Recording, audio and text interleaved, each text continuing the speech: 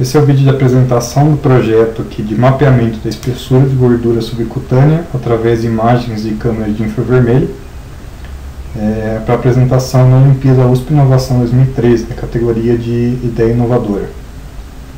De forma que todos os links estão disponíveis, tanto junto com as imagens quanto ao final do, do vídeo. O problema que a gente quer abordar aqui é a medida da gordura localizada. Né? Há vários métodos que fazem já esse tipo de, de aferição, porém a, a gordura localizada ela necessita de um contato entre o paciente e a, objeto de, de, de aferição, né? o que pode ocasionar, além de um desconforto ao paciente, uma perda de, de áreas que podem ser é, aferidas. Né? Ou então, acerca de outras técnicas, como por exemplo imagens por ressonância magnética, onde o alto custo ou disponibilidade de equipamento é, pode fazer com que seja inviável esse tipo de aplicação.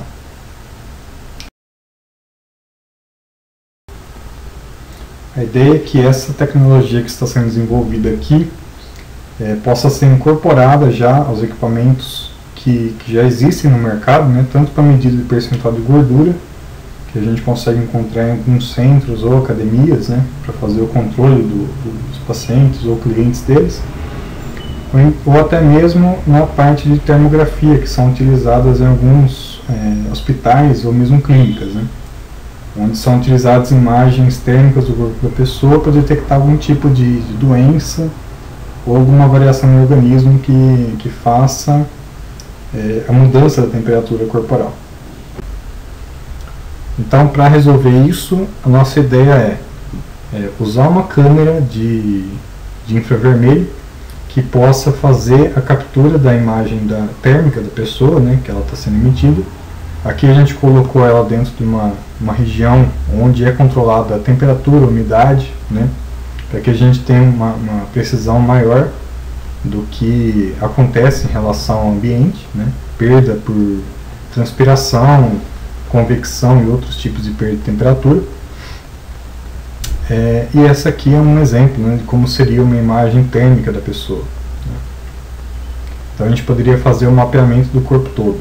Então a, a técnica se baseia que cada parte do corpo aqui, né, cada componente do corpo, dos tecidos aqui, possui uma condutividade térmica diferente, onde a gente pode usar isso na equação de condução térmica e onde todas as outras variáveis aqui a gente consegue tirar a partir da análise das imagens, né? tanto a área quanto o tempo, é, é, temperatura e outros fatores. Né?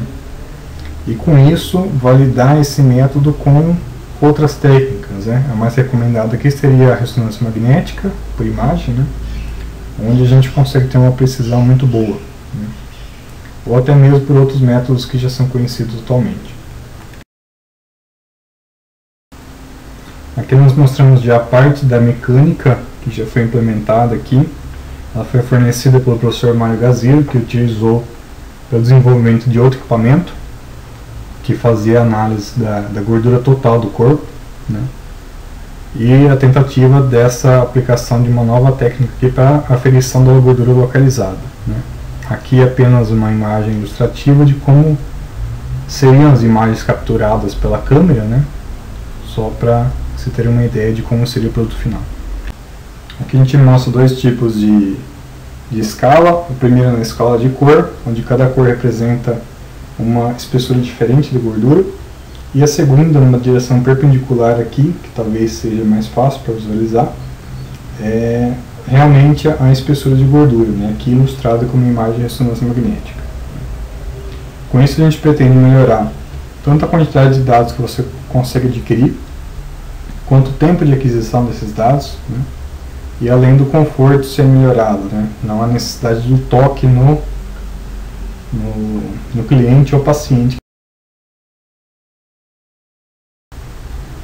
Obrigado a todos e aqui nós deixamos as referências dos trabalhos que a gente utilizou para fazer parte dessa pesquisa. Obrigado.